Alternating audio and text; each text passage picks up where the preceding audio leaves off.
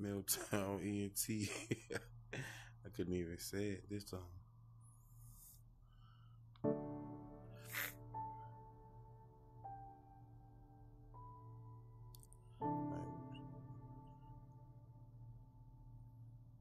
Story mode, tour mode, empty story, man. Welcome to the house of Anne Frank. On the 12th of June, 1929, Anne Frank is born in Frankfurt, Germany. She is the second child of Jewish parents, Otto and Edith Frank. Her older sister is called Margot.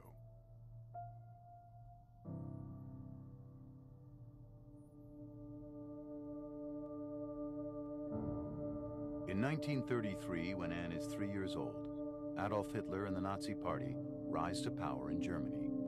The Nazis, building on existing anti-Jewish sentiments, blame the Jews for many of Germany's problems, and Hitler's government soon passes laws that turn Jews into second-class citizens.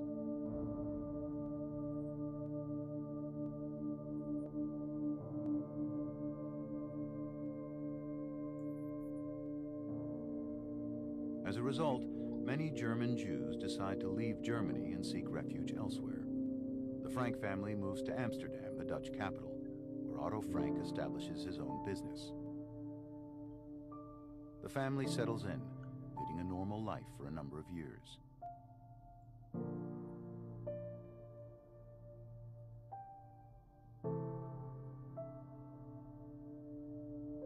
But then, in May 1940, shortly after the start of the Second World War, Nazi Germany invades the Netherlands. It installs an oppressive regime and starts isolating the Jewish population. In 1941, the situation worsens as the Nazis start to carry out raids, arresting Jewish men and transporting them to concentration camps in Nazi Germany.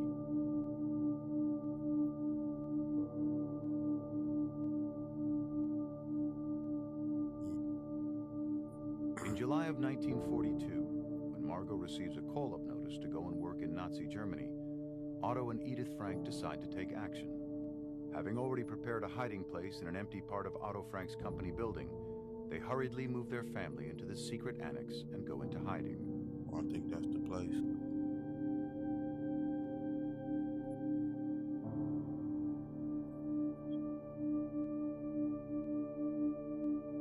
Here, the Frank family is soon joined by four other Jewish people. Otto's co-worker Hermann van Pels, his wife August, and their son Peter, and one of Otto's friends, Fritz Pfeffer.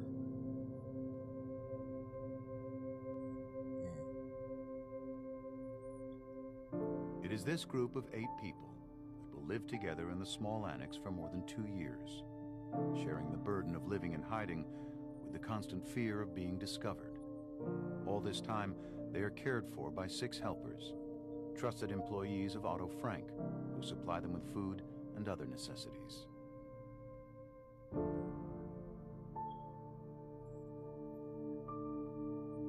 During this period, Anne, then a young teenager, keeps a diary, writing about her feelings and experiences in the annex, about the events taking place in their secret hiding place, its entrance hidden behind a revolving bookcase.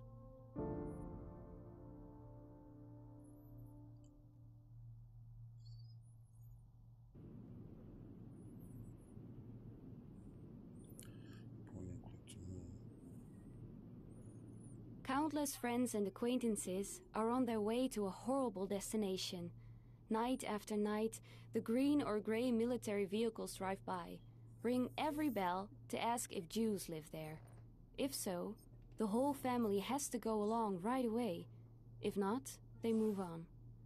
No one can escape their fate unless they go into hiding. Are these the stairs right here? They snapped. Wow.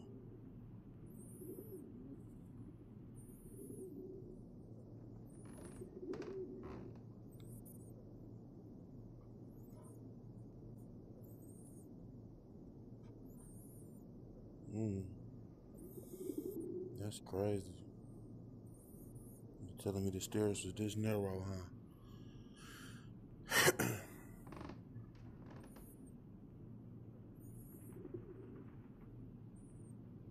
Man, it's crazy. Crazier than I thought it would be.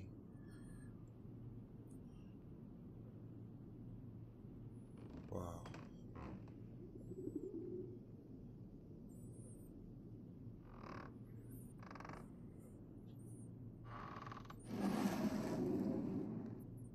Our hiding place has now become a true hiding place. Mr. Kugler, you see, thought it would be better to place a cupboard in front of our door. But then, of course, a cupboard on hinges that can open like a door. Now, when we want to go downstairs, we have to duck first, then jump. After three days, we were all walking around with bumps on our foreheads because everyone kept banging their heads against the low doorway. Peter then made the door frame as soft as possible by nailing to it a cloth full of wood shavings. We'll see if it helps.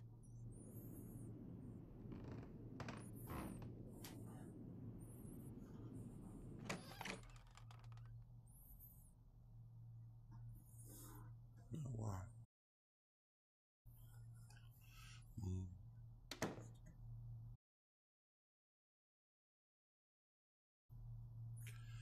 The door look on the other side, huh? Wow, I didn't even know a door right here. So, yeah, it do look like the movies.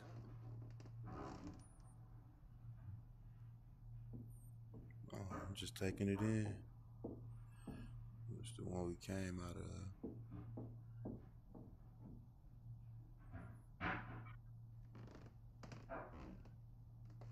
It was three doors in that hallway. I didn't know. I can't open that one yet.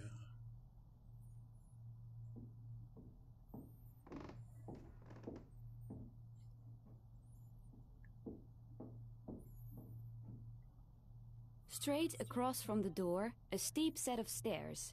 To the left, a little hallway and a room, which is to be the Frank family's living room and bedroom.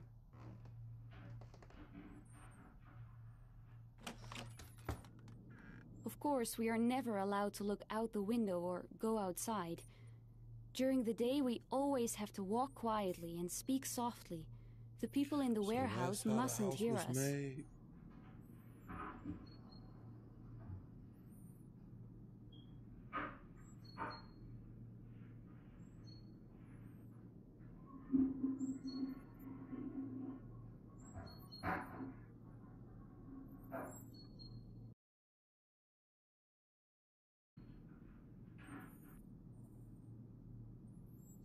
This is a nice representation. What is that? I wish I could pick it up, but I can't.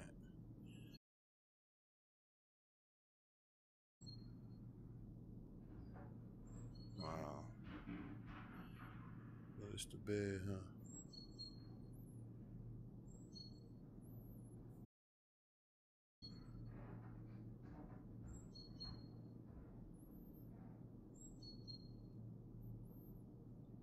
Yeah, I really want to pick this stuff up. I don't know why. Well, this is the bedroom, folks. I believe this is Anne Frank's bedroom. I see the glasses. Maybe he was one of the guys. They probably just said it, but I wasn't paying attention.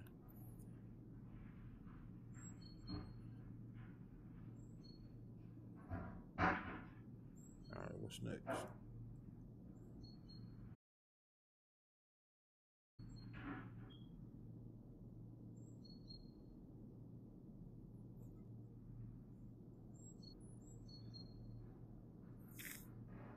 Always look forward to those Saturdays because that's when the books arrive.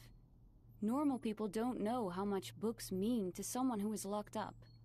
Reading, studying, and the radio are our only distractions.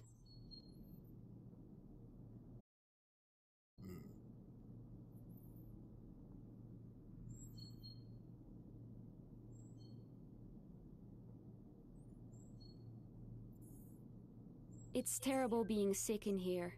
Whenever I had to cough, I would crawl down deep, deep, deeper under the blankets and try to quieten my throat as gently as possible. But enough about being sick now. I'm feeling dandy again. I've grown half an inch, put on two pounds, pale and eager to learn.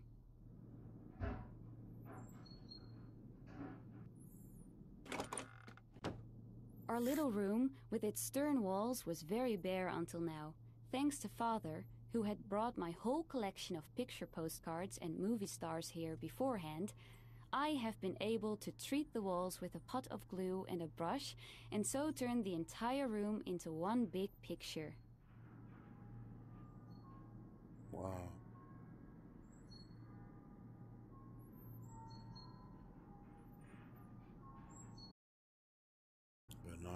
In case you really gotta look out there. I who this guy is.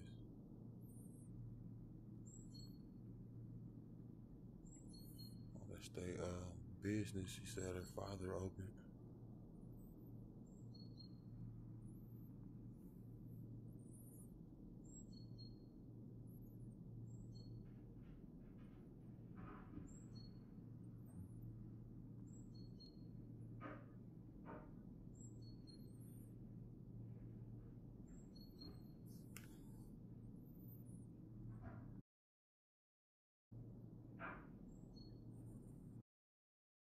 Leave a comment. Writing me- lets me get rid of it all.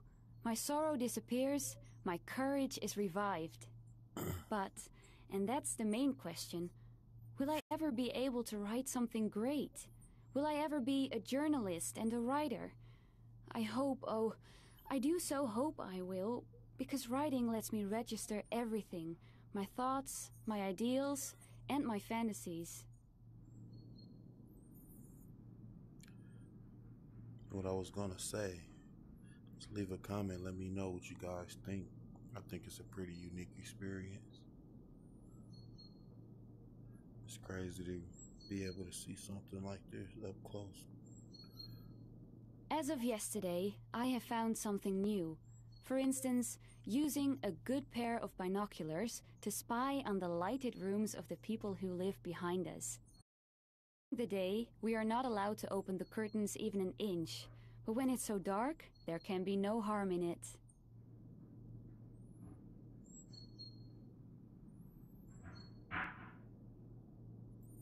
Mm. They would just be up here all of that time, huh?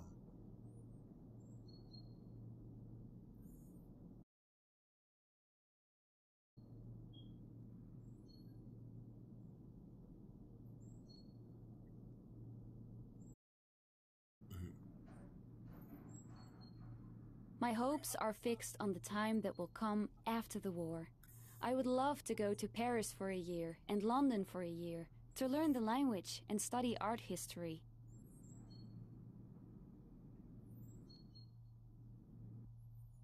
I feel bad for lying in a warm bed, while my dearest friends are out there somewhere, thrown or fallen to the ground.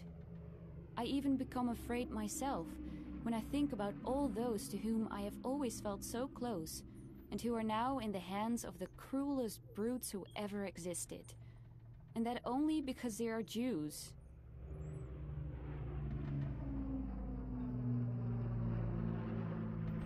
Right. Is it nighttime now? Because it feels like it's nighttime now. That's crazy.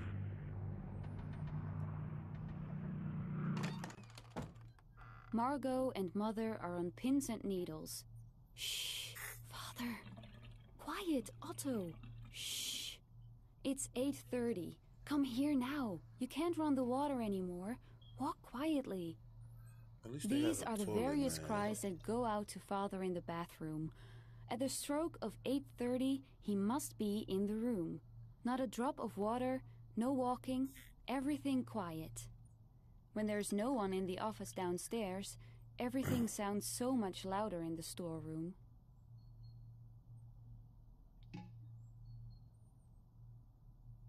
Mm.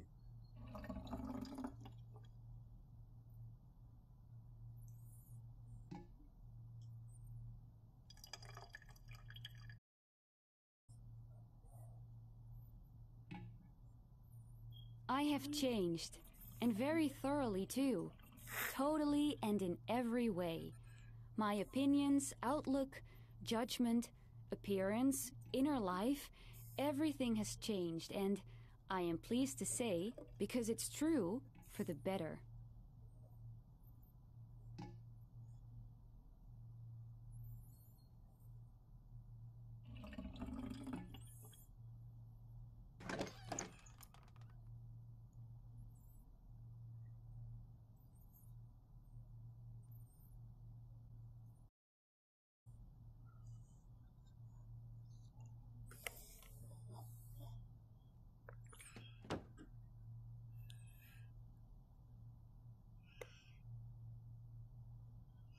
One climbs the stairs and opens the door at the top, one is amazed to find such a large, light, and spacious room in such an old canal house.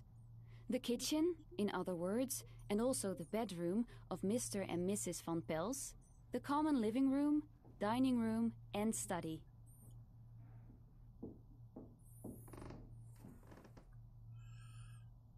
Okay. That difference, that huge difference, is always there. One day we're laughing about the ridiculous side of being in hiding, but the next day, and for many days after that, we are afraid. You can see the fear, tension, and despair on our faces.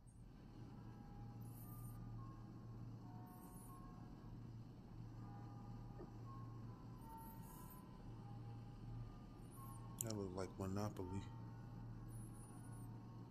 Almost.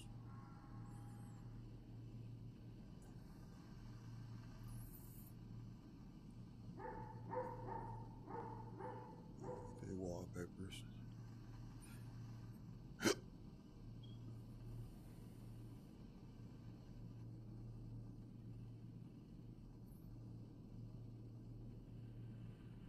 This is the BBC Home Service.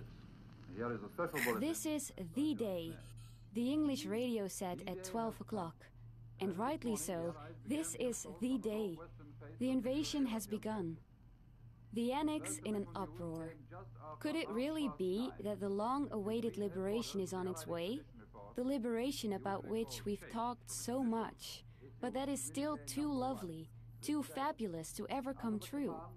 Could this year, this 1944, grant us victory? We don't know yet either, but the hope that springs eternal makes us brave, gives us renewed strength.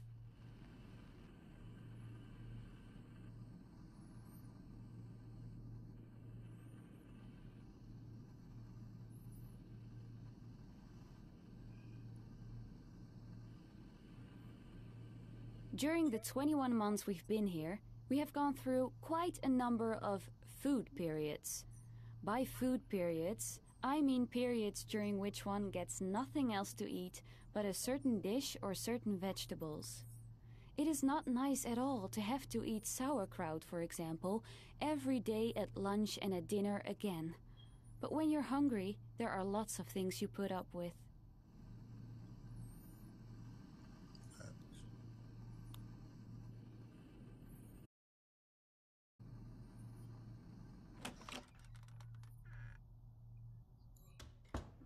When you knock on his door early in the evening and hear someone quietly call out, Yes, yes, then you can be sure that when you open the door, you will find him peeking out at you from between two steps of the stairs to the loft, and that he will usually continue with a rather welcoming, So. His little room is, well, what is it really? I think a sort of landing on the way to the loft. Very small, very dark, and very humid. But he has made it into a real bedroom.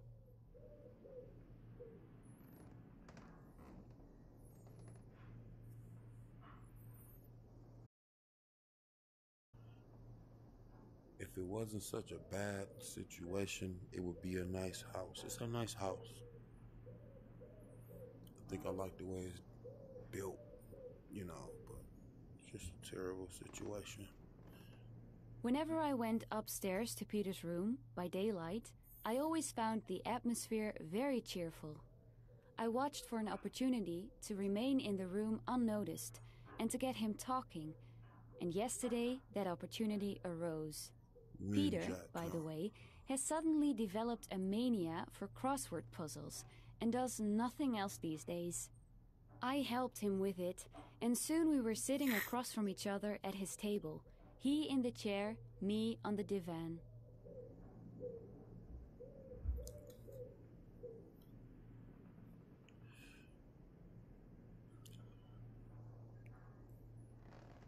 Do you really think that father and mother would approve of me sitting on a divan with a boy, kissing mine?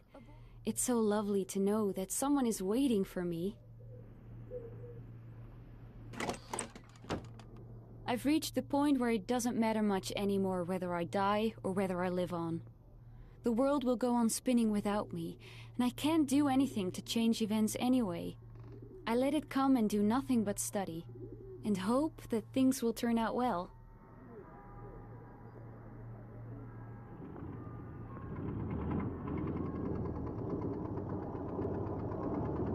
I go up to the loft almost every morning to let the stuffy indoor air blow out of my lungs. This morning, when I went to the loft again, Peter was there cleaning up. He was done quickly, and while I was sitting at my favorite spot on the floor, he came over too. The two of us looked at the beautiful blue of the sky, at the bare chestnut tree with little drops glistening on its branches, at the seagulls and other birds that seemed made of silver in the sunlight, and all of that moved and touched both of us, so that we could no longer speak.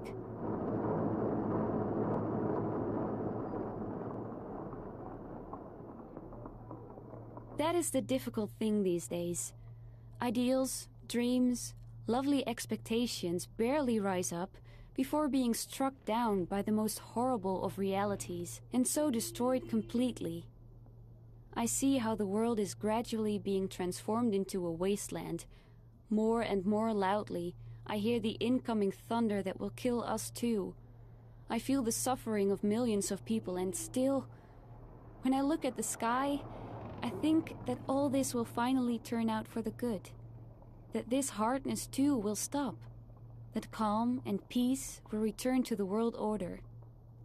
In the meantime, I must keep my ideals high and dry.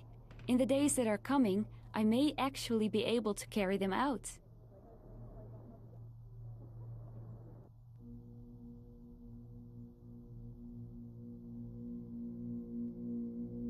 On the morning of the 4th of August, 1944, the hope Anne is holding on to is suddenly all lost.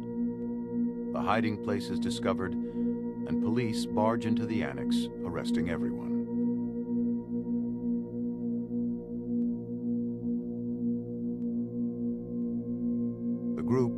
Transferred to Auschwitz, and men and women are separated upon arrival. After two months, Anne and her sister Margot are transferred to Bergen-Belsen. The living circumstances in the camp are horrific. And in February 1945, Anne and Margot both die from illness and exhaustion, two months before the camp is liberated. Of the entire group, only Otto Frank survives the camps. When he returns to the Netherlands, he finds the annex completely ransacked.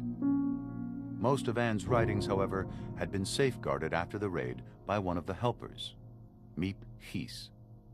When it becomes clear that Anne has died, they are handed over to Otto. Upon discovering Anne wanted to publish a book about her experiences, he decides to fulfill her wish. In 1952, Diary of a Young Girl is published in English. It will become one of the most read books in the world, translated into more than 70 languages.